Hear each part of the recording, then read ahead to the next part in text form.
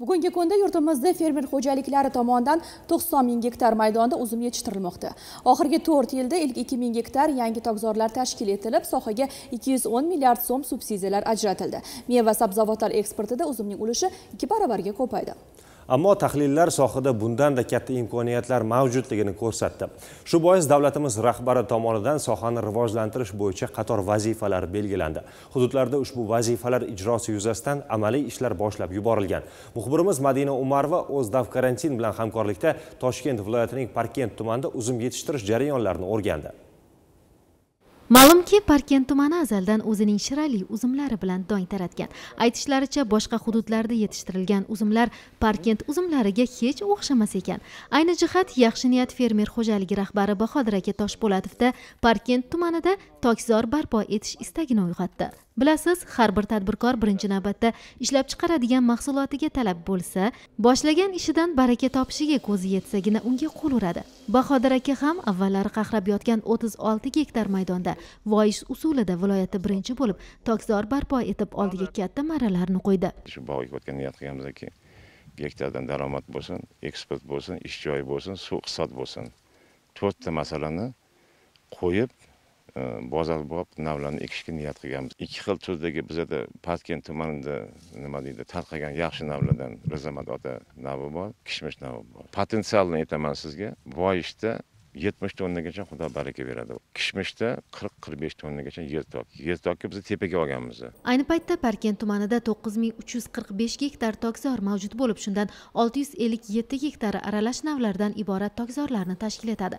Joriy yildan boshlab tumandagi 700 gektarga yaqin tokzorlar to'liq rekonstruksiya qilinib, o'rniga serhosil, eksportbop navli ko'chat ekilishi hisobiga hosildorlikka erishish rejalashtirilgan. Bu borada viloyatda yangi tashkil etilgan agrar sohada bilim va innovatsiyalar tizimi agroxizmatlar markazida ishlar boshlab yuborilgan. Bu yerda serhosil kasalliklarga chidamli uzum navlarini yaratish bo'yicha tadqiqotlar olib borilmoqda. Hozirgi kunda o'sha uzum navlarini yigirmadan ortiq turlari bor laboratoriyamizda. Suviner degan navimiz bor qora husayni bu navlarimizdan ichida uzumni vinobob navlari bor e, keyin mayizbob eksportbob e, navlarini yetishtiryapmiz in vitro usulida ko'paytirilgan uzumlarni e, oddiy navlardan farqi shundaki bular hammasi e, viruslardan xoli tozalangan holda yetishtiriladi. Keyin bularni o'sish muddati ham ikki baravar qisqa bo'ladi. Uzum eksporti hajmini oshirishda mahsulot sifati va xavfsizligini ta'minlash muhim masala. Bu borada toshkent viloyati o'simliklar karantini davlat inspeksiyasi tomonidan zarur choralar ko'rilmoqda. Xususan tok plantatsiyalarini monitoring qilish toklarni karantin osti obyektlardan himoya qilish va mahsulot xavfsizligini ta'minlash shular jumlasidan. O'zbekiston hududida uzumga zarar yetkazadigan eng xavfli zararkunanda bizga chetdan kirib kelishi mumkin bo'lgan filaksera zararkunandasi hisoblanadi. Bu uzumga bargiga tokiga va ildiziga zarar yetkazadi. Natijada hosilning sakson to'qson foizgacha nobud bo'lishiga olib kelishi mumkin.